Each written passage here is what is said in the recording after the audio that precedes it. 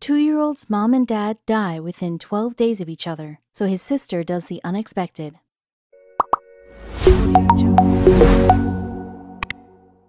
Not that long ago, Molly Schultz was just your average 25 year old. In fact, she was incredibly lucky. A few years ago, Molly married the love of her life, Tim. Furthermore, she had reluctantly welcomed two infant twins, taking to motherhood naturally. Then, in March of 2016, her entire life changed in just a couple of minutes. First, she found out that her father's wife and mother to her half brother had died. Then, tragedy struck again. Schultz's once normal life became much more dramatic as she found herself in a family tragedy more incredible than any movie. Through a truly monumental series of challenges, Schultz and her family found their entire world upside down. What happened next is sure to have you in tears. Schultz was just your average stay at home mother from Spokane, Washington. Molly met Tim on Match.com in 2013, and it really was a match made in heaven. The two fell in love and began a beautiful relationship. After three weeks together, Schultz found out she was pregnant and the two decided it was only right to move in together. Only eight months after their first child was born, the couple found out that they were pregnant yet again. Before the birth of their second daughter, the couple eloped. Soon, they also had a pair of twins, but this beautiful family of five was about to have their whole lives turned upside down. Molly Schultz was very close to her father, he raised her to be the best person she could possibly be and believed in her greatly. Molly even had him in the delivery room when she gave birth to her first daughter. Also, even though Molly lived on the West Coast and her father in Michigan, they stayed in touch and were always present in each other's lives. Then life handed her a horrifying one two punch. Within the span of just a couple of months, not only did Molly's father's wife pass away suddenly, but her father was now suffering from a rare terminal condition. Knowing that her father only had weeks left, Molly did the only logical thing and booked herself a flight. Molly had to take her twins along, as they were still breastfeeding. Unfortunately, she had to fly alone since her husband needed to stay with their two other daughters. Molly knew it would be quite the journey from Spokane to Detroit. To make matters worse, Molly could not get a direct flight. She needed to fly through Minneapolis to reach Detroit. Everyone knows airport connections are difficult. Often you run the length of an entire airport just to find your next flight delayed. Or worse, you've got to figure out how to kill hours in a boring terminal. Now, imagine doing this grueling process with two babies all by yourself. This is what Molly Schultz had to do when flying from her home to her dad's. The three hour flight to Minneapolis was okay, as Molly and her twins braved the situation and did their very best. Now Molly needed to make it to Michigan. When she's home, Molly Schultz and her children follow a pretty strict schedule. There is a specific time for eating, playing, and sleeping. Suddenly, Molly couldn't do all of her normal activities. The problem was that her twins were with her and also affected by this change. Being only seven months old, they were susceptible to change. If Molly didn't feed them or put them to sleep on schedule, problems always arose. Now, Molly was heading into unfamiliar territory. What would her schedule be like? Would she have time to feed her babies as they were accustomed to? How would they adjust? All these questions were burning in young Molly's mind. After the three hour flight, Molly and her twins landed in Minneapolis. Unfortunately, this was not going to be a quick connection. Instead, they suffered a very long layover. Molly describes, resulted in me laying blankets on the airport floor for them to roll around. We spent a long time in that layover, and towards the end of it, everything started to go downhill. Both Molly and her twins began to feel fatigue. While Molly could manage, her infant girls could not. As they became more and more agitated, so did Molly. I felt like a ticking time bomb of emotions. While juggling the care of cranky twins, my heart was breaking. After what seemed like forever, the three of them finally boarded the flight to Detroit. Unfortunately, the agitated twins were hard to remedy. The two were crying nonstop, and Molly was at her breaking point. This was the very first time these two youngsters were flying on a plane, and it wasn't the way Molly pictured it would be. Luckily, the flight was just under two hours. Molly needed to hang tight and brave through just 100 minutes of stress, and it would be over. However, sometimes 100 minutes can feel like forever. The first 20 minutes of the flight turned out okay. Molly had a row all to herself with her babies, and the two were smiley and fun. All the passengers walking past them were smiling back, and all seemed perfect. Takeoff was when things started to go a little bit different. The babies began crying and just wouldn't stop. They became irritable and uncomfortable. I knew they wanted to nurse. I just didn't know how to do that on a plane with no pillows to help support us. Everything Molly attempted wouldn't console them, and the crying just didn't stop. The way things were going on the flight began to affect Molly herself. I was so mentally broken and emotionally tired. Just wanted off this plane and in his arms. I needed help, but there was no one to turn to. The flight attendants were very sweet, but they had things they needed to be doing. All seemed lost on the flight, even though it was a short flight. Anyone with children knows that once they begin crying uncontrollably, it is almost impossible to calm them down, especially if the parent themselves is stressed. Thankfully, Molly finally got the break she needed during the flight. Suddenly, a woman got up from behind us, sat in the open seat next to me, and grabbed the baby I was bouncing on my lap. She didn't even ask, but she didn't need to. She knew I needed her. I handed her a bottle and she cradled my daughter in her arms as she swayed back and forth singing sweet lullabies to her. This amazing show of selflessness was what made the flight bearable for Molly Schultz. This kind woman saved the day, and Molly could slowly recover and get things in order. Molly's only regret is not taking a photo with her, so she would forever cherish this woman with a tangible memory. Wherever you are, Airplane Angel, thank you. After what seemed like forever, the plane landed.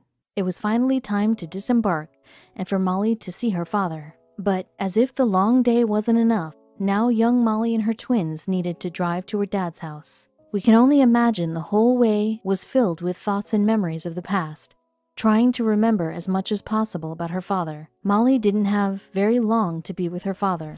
She didn't know exactly how much time she had left, but knew he was approaching his death. Molly was trying to recuperate from the flight and prepare herself for her ill and grief stricken father who would welcome her at his home. After so long, Molly Schultz finally arrived at her father's home. There, what she found left her complete and utter heartbroken. Once upon a time, her father had lifted her up in his arms and spun her around. Now he was a shell of a man, far too thin and barely hanging on. Still, regardless of his appearance, her dad was still her dad. I laid my head on his bony chest, and none of it mattered. My best friend, the man I held so dearly to my heart, was dying. She wrote of the experience in a blog post. However, Molly had no idea that her father's disease was just the beginning. Soon she would learn that there were many reasons why she had needed to fly out so quickly. After hours of flying and driving, Molly had finally arrived at her father's house. After her initial shock and heartbreak, she began to learn about his condition and just how much time he had left. Molly's father had stage 4 pancreatic cancer. This meant he was terminally ill and had virtually no chance of recovery. Doctors said he only had months to live.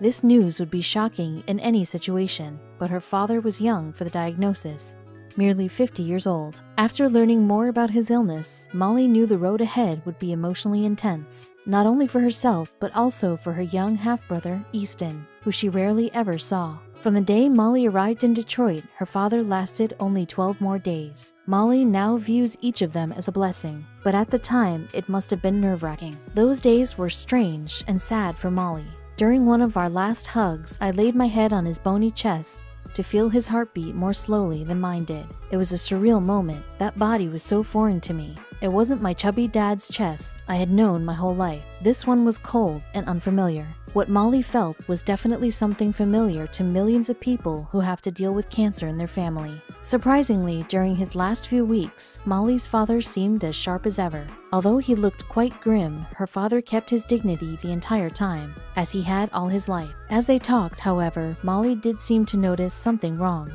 It was as though her father wanted to tell her something, but could not, as though every time he tried, he could not find the words.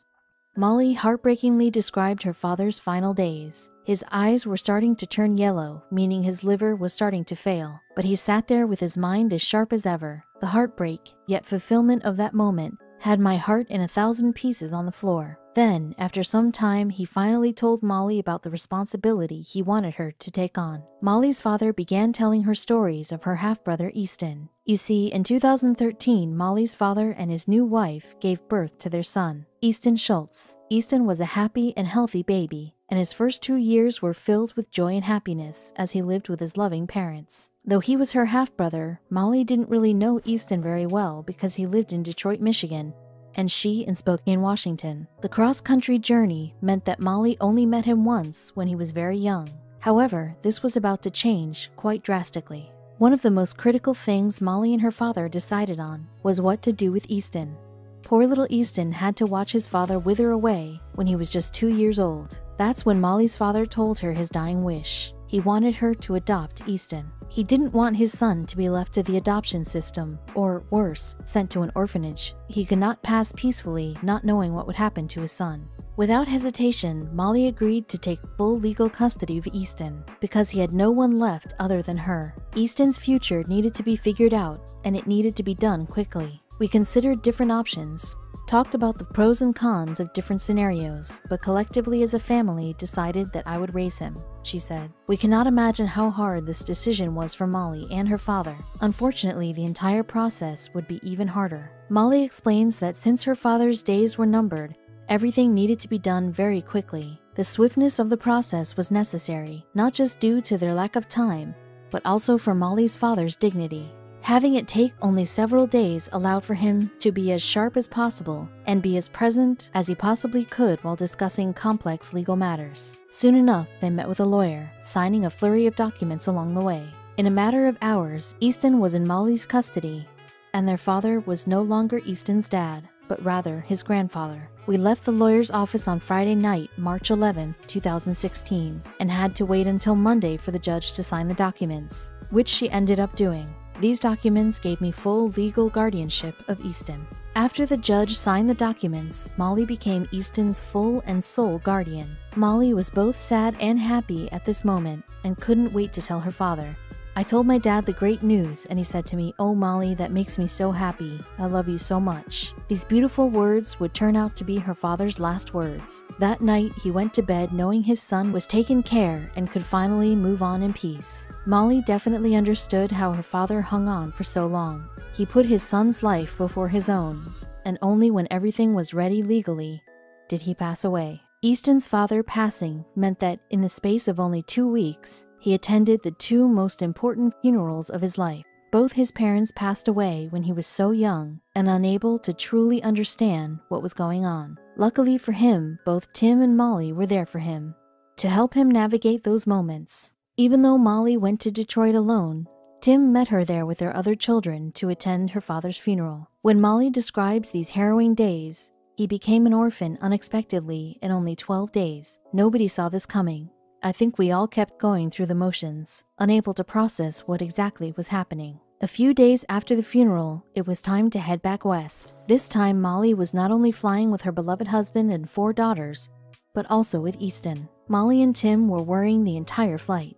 How would Easton take it? He was raised as an only child and now he had to share a house with four sisters. How would their daughters adjust? They didn't really know Easton that well, and now they lived with him. While Molly and Tim wanted to be strong for their babies and Easton, they were still two young people dealing with grief and significant changes. Thankfully, the initial transition into the family went very smoothly. This was a major relief to Tim and Molly Schultz. Their daughters welcomed their new brother into their home, and Easton was happy to assimilate into the Schultz's household. The first and critical days of living under the same roof went by relatively okay. Later on, the family struggled to find some balance and common ground but the most important days where the children had to accept each other went well, and you could tell the girls and Easton were connected on a deeper level. Unfortunately, something was coming that would cast a shadow on the happy new family. After Easton arrived in Spokane, an unexpected legal battle began. Since Easton is a Michigan native, it is a complicated process to have him adopted in a different state. This meant Molly Schultz and her half brother Easton needed to fly back and forth from Washington state to Michigan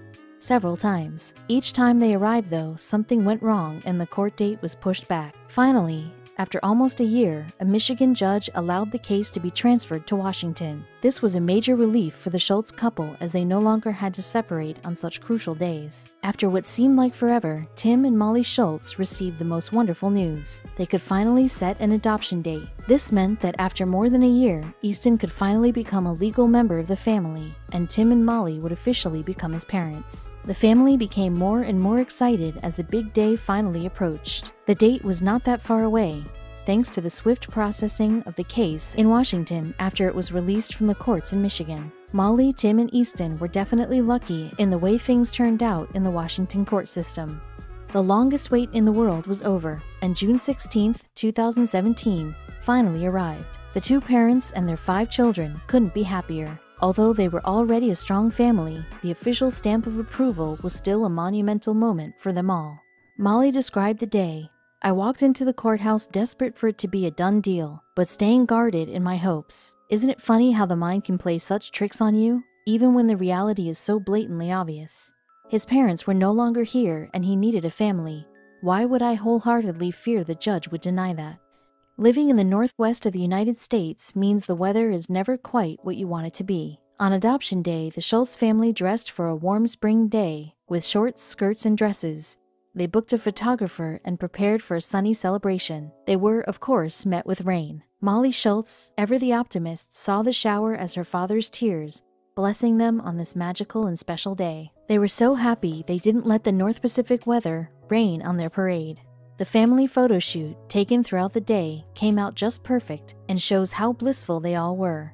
But photos were not the only highlight of the day. When the Schultz family finally appeared in court, they could not help but hope it would be the final time. What started off as an easy process had turned into a year long ordeal. Molly recalls how silent and shy Easton was, understanding this was a significant moment in his life. Luckily for the family, they were met with a wonderful and supportive judge. She finally approved the adoption and thus ended the long and dreadful wait. Molly and Tim asked after the hearing to go back to the judge's chamber and take a photo with her. This was to commemorate the person who made their family whole. Easton lived with Tim and Molly Schultz for over a year, 458 days, until adoption day finally came. This number may seem high, but unfortunately, this is often the case, because adoption is a very long and bureaucratic process. Although Easton was not officially their son, Tim and Molly loved him unconditionally and cared for his every need long before he legally became part of the family. Easton was lucky to be living with his loving relatives and to have an excellent support system to help him through one of the most challenging experiences any person could go through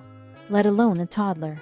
Molly Schultz looks back at those 458 days of love as ones they will cherish forever as a family. In hindsight, Molly Schultz realized there were some foreshadowed hints that she was going to be far more involved in Easton's life than expected. When the boy was born, his parents called Molly and asked her opinion on the name they liked best. Molly chose Easton, and that was the name they gave him. Another sign was that Easton never called Molly by her name but referred to her as Mama, even before the death of his birth mother. It is as if the boy knew that Molly was going to be a major part of his life in a very short time. The bond between Molly and Easton was strong from the day he was born, even if they didn't see each other much.